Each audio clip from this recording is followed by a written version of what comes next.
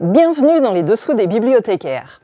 Aujourd'hui, j'avais envie de vous parler d'un coup de cœur absolu. Irénée Sola, je chante et la montagne danse. Eh bien, nous dansons avec elle. Euh, Irénée Sola, elle est catalane, elle est poétesse et ça s'entend dans, son, euh, roman. Euh, à partir d'un fait divers qui s'est produit euh, des années auparavant, elle va euh, revenir sur euh, plusieurs générations d'une famille, d'une famille catalane.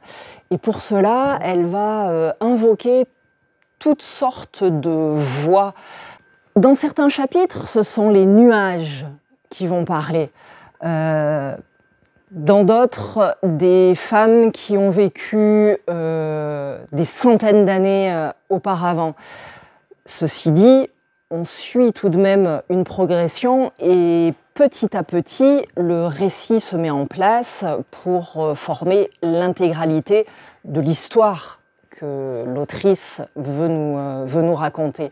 Mais ce faisant, avec une écriture fabuleusement poétique, c'est toute la Catalogne, c'est tout le, tout le folklore qui nourrit les hommes et les paysages qu'on entend dans son, dans son roman. Vraiment, je l'ai adoré. Euh, c'est parfois un un livre qui demande euh, un peu de concentration. On a besoin d'épouser le, langage d'Irénée Sola, mais vraiment on est récompensé. C'est une lecture merveilleuse.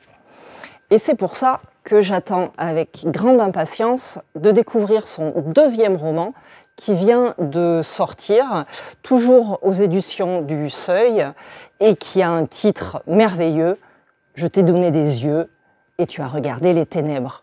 Je vous en parlerai une prochaine fois.